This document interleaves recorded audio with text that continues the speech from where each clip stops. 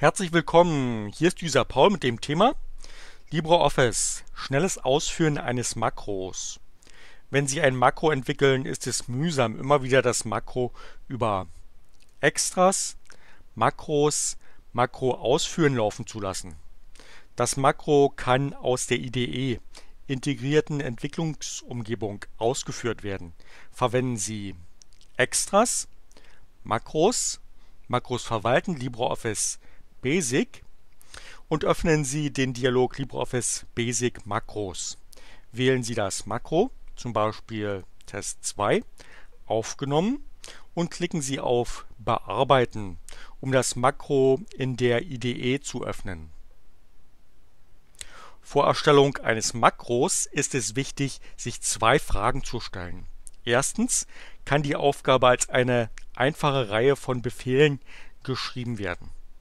Zweitens können die Schritte so angeordnet werden, dass der letzte Befehl den Cursor für den nächsten Befehl an der richtigen Stelle bereitstellt.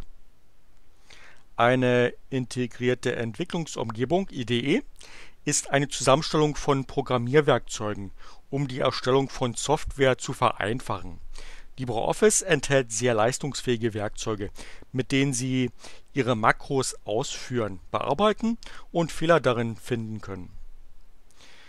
Der große Bereich in der Mitte, in dem der Makrocode angezeigt wird, ist das Editorfenster. Viele Funktionen wie Stopp, Haltepunkt, Einzelschritt und das Beobachtungsfenster dienen als einfacher und effektiver Debugger für Makrocode. Ein Debugger ist einfach ein Werkzeug zum Auffinden, Diagnostizieren und Beheben von Fehlern in Software. Die IDE hat ein Symbol Basic-Programm ausführen an dieser Stelle, das auch mit F5 aufgerufen werden kann. Das als erstes Makro in der IDE läuft. Sofern Sie das erste Makro nicht ändern, ist es das leere Makro mit dem Namen main. Und einfach F5 drücken, also Basic Programm ausführen und nichts passiert. Ändern Sie main, so dass es folgendermaßen lautet.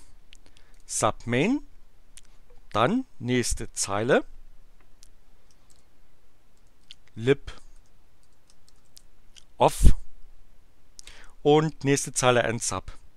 Jetzt können Sie das Makro lib off durch wiederholtes Klicken auf das Symbol Basic Programm ausführen in der Symbolleiste des IDE laufen lassen.